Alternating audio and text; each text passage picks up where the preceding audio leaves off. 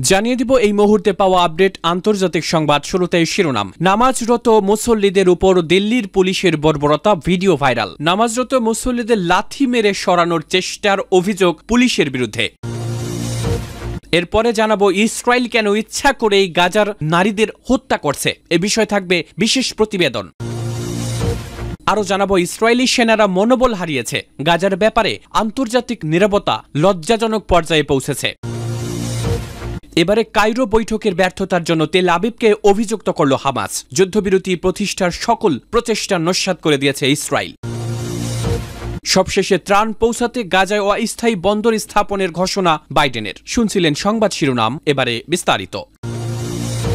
নামাজরত মুসল্লিদের উপর দিল্লির পুলিশের বর্বরতা। ভারতে জমার নামাজরত মুসল্লিদের উপর বর্বর আচরণ করেছেন একজন পুলিশ অফিসার। নয়াদিল্লিতে রাস্তার ধারে জমার নামাজ পড়া মুসল্লিদের উপর নির্মম নির্যাতন করা হয়। শুক্রবার দ্য নিউজ ইন্টারন্যাশনালের এক প্রতিবেদনে এ তথ্য জানানো হয়েছে। প্রতিবেদনে বলা হয়, দিল্লির রাস্তায় বসে শুক্রবার নামাজ পড়ছিলেন অনেকে। এ সময় এক পুলিশ অফিসার নামাজরত মুসল্লিদের লাথি মেরে সরানোর চেষ্টা করেন। সামাজিক যোগাযোগ মাধ্যমে প্রচারিত ভিডিওতে এ দৃশ্য ভাইরাল হয়। এ ঘটনায় ভারত জুড়ে ক্ষোভের সৃষ্টি হয়েছে। প্রতিবেদনে আরও বলা হয়, এ নির্মম ঘটনাটি ঘটেছে রাজধানীর ইন্দোরলোক এলাকায়। শুক্রবার ইন্দোরলোক এলাকায় একটি মসজিদে বিপুল সংখ্যক মুসলমান জড়ো হয়েছিলেন, যার ফলে অনেক লোক ভিড়ের কারণে রাস্তায় বসে নামাজ পড়ছিলেন। এ সময় কয়েকজন পুলিশ কর্মকর্তা মাঝ নামাজের মধ্যে ঘটনাস্থলে উপস্থিত হন এবং নামাজে ব্যস্ত মুসল্লিদের লাথি ও ঘুষি মারতে থাকেন। ভিডিওতে দেখা যাচ্ছে, তাদের একজন নামাজের জন্য হাঁটু গেড়ে বসে থাকা মুসল্লিদের লাথি মারছে। তবে এক ব্যক্তি পুলিশকে ঘিরে ফেলে এবং তার আচরণে আপত্তি জানায়। ইন্ডিয়া টুডে অনুসারে কর্মকর্তাকে অবিলম্বে বরখাস্ত করা হয়েছে। এ ঘটনায় কংগ্রেসের রাজসভার সংসদ সদস্য ইমরান প্রতাপ গার্হি ঘটনার ভিডিও সামাজিক মাধ্যমে পোস্ট করেছেন। তিনি লেখেন, দিল্লি পুলিশের এই কর্মী নামাজরত মুসল্লিদের একের পর এক লাথি মারতে থাকেন। ওই পুলিশ কর্মীর হৃদয়ে কিসের এত ঘৃণা? দিল্লি পুলিশকে অনুরোধ করছি অভিযুক্ত পুলিশ কর্মীর বিরুদ্ধে যথাযথ ধারায় মামলা রুজু করে তদন্ত করতে। পাশাপাশি তাকে চাকরি থেকে বরখাস্ত করারও আর্জি জানাচ্ছি। এদিকে পুলিশের উপকমিশনার এম কে মিনা জানায়, বিষয়টি নিয়ে তদন্ত শুরু করা হয়েছে। কর্মকর্তাকে অবিলম্বে বরখাস্ত করা হয়েছে এবং শাস্তিমূলক ব্যবস্থাও নেওয়া হবে। সূত্র দ্য নিউজ ইন্টারন্যাশনাল। ইসরায়েল কেন ইচ্ছা করেই গাজার নারীদের হত্যা করছে? গাজার নারীদের উপর ইসরায়েলি অপরাধযোগ্য পাশ্চাত্যের আসল চেহারা স্পষ্ট করেছে। আজ আট মার্চ উদযাপন করা হচ্ছে নারী দিবস। সমাজে নারীর ভূমিকার প্রতি সম্মান প্রদর্শনের এই দিনেও আধুনিক বিশ্ব সমাজ গাজার নারীদের শোচনীয় অবস্থা সম্পর্কে নীরব ও নিষ্ক্রিয়। ইসরায়েলের নির্বিচার গণহত্যা ও অপরাধযজ্ঞের হাত থেকে গাজার নারী ও শিশুদের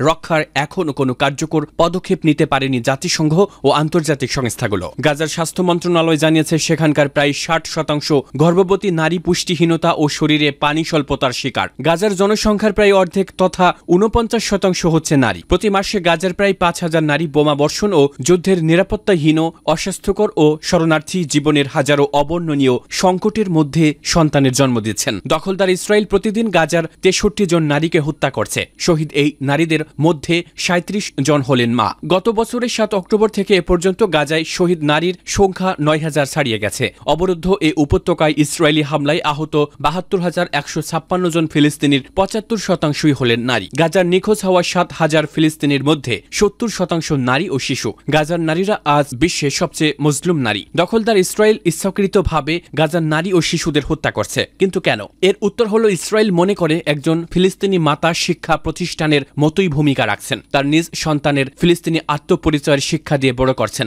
এছাড়াও ফিলিস্তিনি নারী সমাজ সমাজ সেখানকার পুরুষদের পাশাপাশি প্রতিরোধ সংগ্রামে ভূমিকা রাখছে এবং ভূমিকা রাখছে ফিলিস্তিনের উন্নয়নের নানা পর্যায়ে। তাই ফিলিস্তিনি মায়েদের বা নারীদের হত্যা করে ইসরায়েল ফিলিস্তিনি পরিবারগুলোর ভিত্তিকে ধ্বংস এবং ফিলিস্তিনের উন্নয়ন ও প্রতিরোধ সংগ্রামকে দুর্বল করতে চায়। আসলে ফিলিস্তিনি জাতির অন্যতম প্রধান ভিত্তিমূল নারী সমাজকে ধ্বংস করে গোটা ফিলিস্তিনি জাতিকেই ধ্বংস করতে চায় ইসরায়েল। গাজা নিহত নারীর সংখ্যা নয় হাজার ছাড়িয়ে গেছে, আহত তেইশ হাজার এবং নিখোঁজ দুই হাজার একশো জন। গাজার ষাট হাজার গর্ভবতী নারী নিরাপত্তাহীনতা দুর্ভিক্ষ, ক্ষুধা ও বিপর্যস্ত স্বাস্থ্য ব্যবস্থা সহ নানা ধরনের কঠিন বিপর্যয়ের শিকার। গাজার শত শত নারী হারিয়েছেন তাদের সন্তান, স্বামী ও পরিবারের সদস্যদের। তাদের অনেকেই জন্ম নিয়েছেন মৃত সন্তান এবং অনেকেরই ঘটে গেছে অনিচ্ছাকৃত গর্ভপাত। হত্যাযোগ্য গ্রেফতার সংক্রামক রোগ বা মহামারীর মতো সংকট ছাড়াও এমনকি ইসরায়েলি সেনাদের হাতে অপহরণ, কারাবাস, ধর্ষণ ও নানা ধরনের নির্যাতনের শিকার হয়েছেন গাজার অনেক নারী। বিশ্ব সমাজ ও আন্তর্জাতিক মানবাধিকার সংগঠনগুলো গাজার নারীদের সুরক্ষার জন্য কিছুই কিছুই করতে পারেনি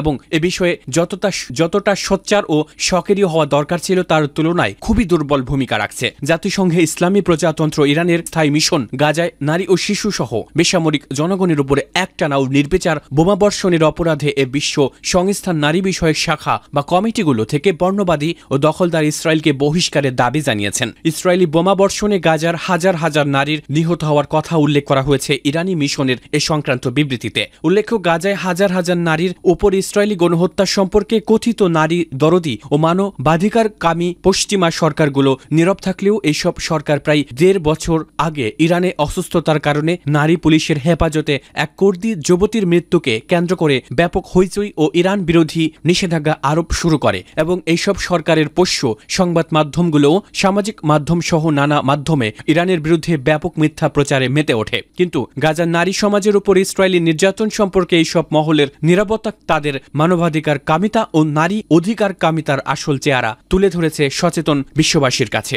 গাজার ব্যাপারে আন্তর্জাতিক নিরাপত্তা লজ্জাজনক পর্যায়ে পৌঁছেছে হুতি। ইয়েমেনের হুতি আনসারুল্লাহ আন্দোলনের নেতা আব্দুল মালিক আল হুতি অভিযোগ করেছেন, গাজা উপত্যকায় ইহুদিবাদে ইসরায়েলের ভয়াবহ অপরাধ যজ্ঞের ব্যাপারে আন্তর্জাতিক সমাজের নিরাপত্তা লজ্জাজনক পর্যায়ে উপনীত হয়েছে। তিনি আরও বলেছেন, এই উপত্যকার গণহত্যায় আমেরিকা প্রধান সহযোগীর ভূমিকা পালন করছে। তিনি বৃহস্পতিবার রাতে নিজের সাপ্তাহিক টেলিভিশন ভাষণে বলেছেন, গাজা উপত্যকায় অবরুদ্ধ ফিলিস্তিনিদের বিরুদ্ধে আমেরিকা ও ইসরায়েলের আগ্রাসন ষষ্ঠ মাসে পড়েছে। আর গাজাবাসীর বিরুদ্ধে এই জাতিগত শুদ্ধি অভিযান আন্তর্জাতিক সমাজের চোখের সামনে ঘটছে। আব্দুল মালিক আল হুতি বলেন, গাজাবাসীর উপর চলমান গণহত্যা মানবতা বিরোধী অপরাধ। নিষিদ্ধ সব অস্ত্র দিয়ে গাজাবাসীকে হত্যা করা হচ্ছে এবং এই উপত্যকায় নিরাপদ স্থান বলে আর কোনো কিছুই অবশিষ্ট নেই। তিনি বলেন, এই অপরাধ যজ্ঞের প্রধান অংশীদার মার্কিন সরকার গোটা বিশ্ববাসীর জন্য লজ্জা বয়ে এনেছে। ইয়েমেনের এই হুতি নেতা বলেন, ইসরায়েলকে কোটি কোটি ডলার মূল্যের সমরাস্ত্র সরবরাহ করার পর এখন বিশ্ববাসীর চোখে ধুলা দেওয়ার জন্য আমেরিকা আকাশ থেকে মাত্র কয়েক হাজার প্যাকেট ত্রাণ ফেলেছে, অথচ এই আমেরিকায় স্থলপথে গাজায় ত্রাণ প্রবেশ করতে বাধা দিচ্ছে। কিন্তু এত সব সত্ত্বেও গাজায় আটক ইসরায়েলি পণবন্দীদের মুক্তি কিংবা হামাসকে ধ্বংস করার লক্ষ্য অর্জনে ইসরায়েল চরম ব্যর্থতার পরিচয় দিয়েছে বলে তিনি উল্লেখ করেন। হুটি বলেন, পাশাপাশি মনস্তাত্ত্বিক যুদ্ধেও ইসরায়েল হেরে গেছে এবং ইহুদিবাদী সেনারা যুদ্ধ করার মনোবল হারিয়ে ফেলেছে।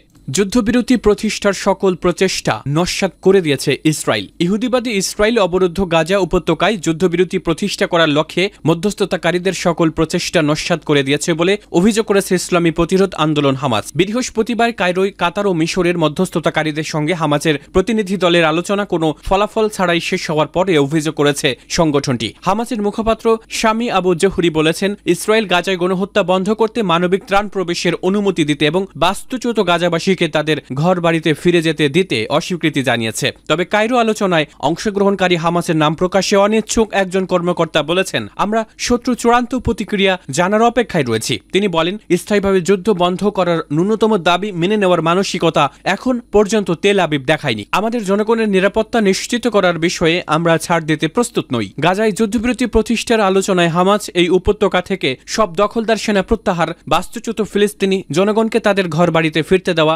অবাধ ত্রাণের প্রবেশ ও গাজা পুনর্গঠনের কাজ শুরু করার শর্ত দিয়েছে। হামাজের আরেক নেতা মাহমুদ মারদাবই বলেছেন, যুদ্ধবিরতি আলোচনার ভাগ্য এখন ইসরায়েলের প্রধান সহযোগী আমেরিকার উপর নির্ভর করছে। মার্কিন সরকার চাইলে পবিত্র রমজান মাস শুরুর আগেই একটি যুদ্ধবিরতিতে পৌঁছা সম্ভব হবে।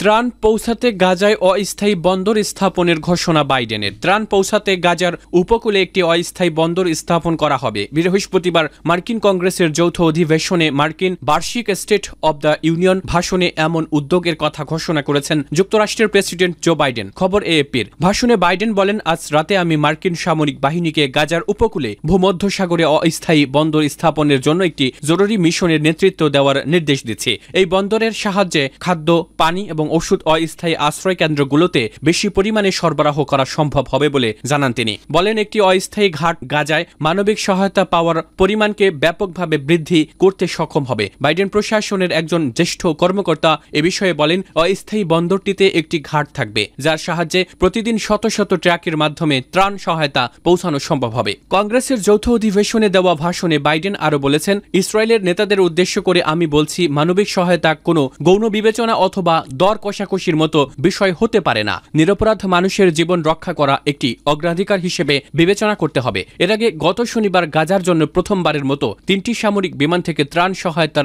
অন্তত ত্রিশ হাজার খাবারের প্যাকেট ফেলেছিল যুক্তরাষ্ট্র। জর্ডানের বিমান বাহিনীর সহায়তায় প্যারাশুটের মাধ্যমে এই প্যাকেটগুলো ফেলা হয়েছিল।